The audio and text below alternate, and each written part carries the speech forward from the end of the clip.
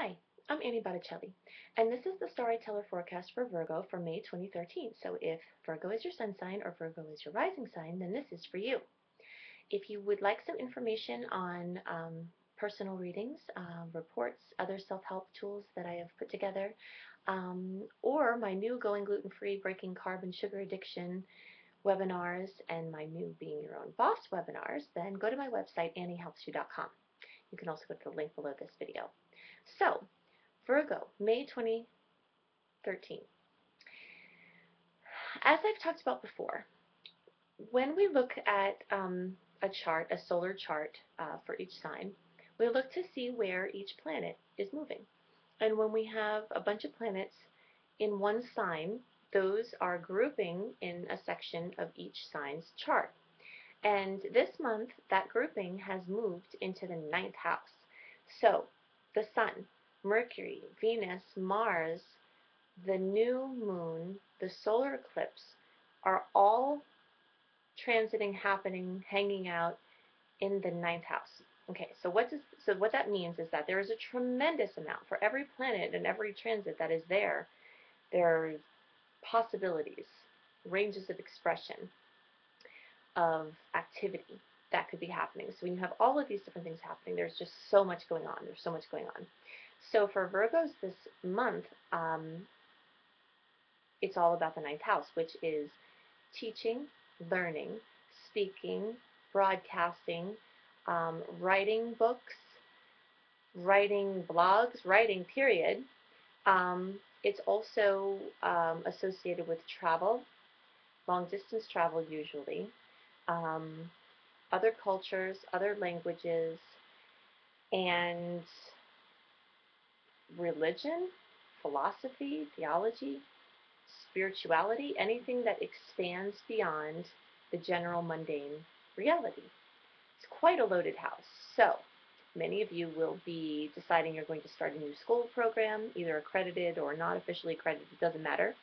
Um, many of you will be uh, starting to teach or launching into new levels of the education that you already have or into teaching if you have been wanting, if you have been a teacher for, um, you know, an accredited uh, school, and you would like to teach your own things, have your own teaching business, um, similar to what I do, this is a fantastic time to try to do that, to try to launch that. YouTube is a fantastic way. I also have lots of other ideas in my Being Your Own Boss resources as to how you can do this too but there's going to be a tremendous amount of energy around all of these things. Um, so whenever we um, we have solar eclipse energy, there's a new window that opens, and all of that has to do with this expanded knowledge. And so also things get eclipsed out with the lunar eclipse that happens in these cycles. So you'll be feeling something become eclipsed out. For some of you, it will be your car. For some of you, it will be your um, your focus on the mundane reality or information that is of a day-to-day kind of level and, and step into this exalted placement or, or an expanded level of information broadcasting where maybe you have been, we're doing it on a local level and now you might be opening into doing it on a bigger level. And of course the internet is the best tool for doing that. So definitely look into all the different resources. If you don't have a YouTube channel, get one. If you haven't recorded a YouTube video and you have an agenda or you have a cause or you have a business, get on YouTube and just start recording it and um, talking about what you're doing and sharing it with people because what you do from your living room, what I do from my living room, um, people can and do watch all over the world. And this is very strongly highlighted for Virgos right now. Um, so let's see what else is going on. You also still have that Jupiter transit um, through your 10th house. So it's very possible that all of these things I've described could be directly related to your work or your income, or openings for possibilities for your work or income, either in the job you already have or in, you know, starting a new job. But you definitely have a, a while longer of this Jupiter being in your career, life purpose, um, work house. Jupiter is the great expander.